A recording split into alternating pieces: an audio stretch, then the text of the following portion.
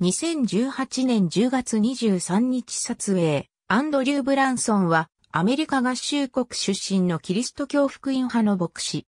20年以上トルコに在住していたが、2016年にトルコ当局が拘束、釈放を要求するアメリカ合衆国との間で国際問題化するきっかけとなった。報道によっては、アンドルー・ブランソンとして呼称される。長年トルコで活動してきたが、2016年にトルコで発生したクーデター未遂事件に関与した者や、クルド労働者等を支援したとして、同年10月に逮捕、拘束された。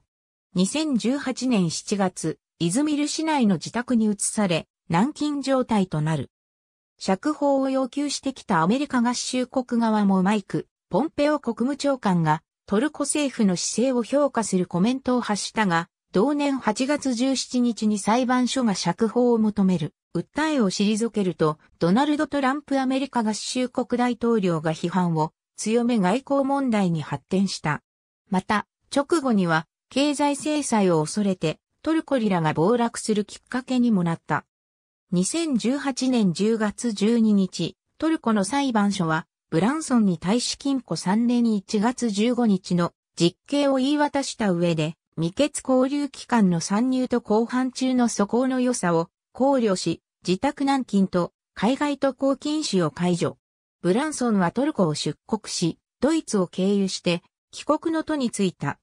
2018年10月13日、ブランソンはアンドルーズ空軍基地に到着後、ホワイトハウスに移動。大統領、国務長官らと面会して、解放に向けて努力した政権側に感謝の言葉を伝えた。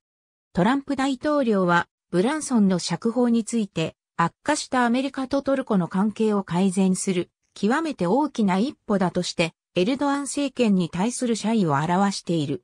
2019年、トルコはクルド人武装勢力の総統を目的にシリア領内への侵攻を準備。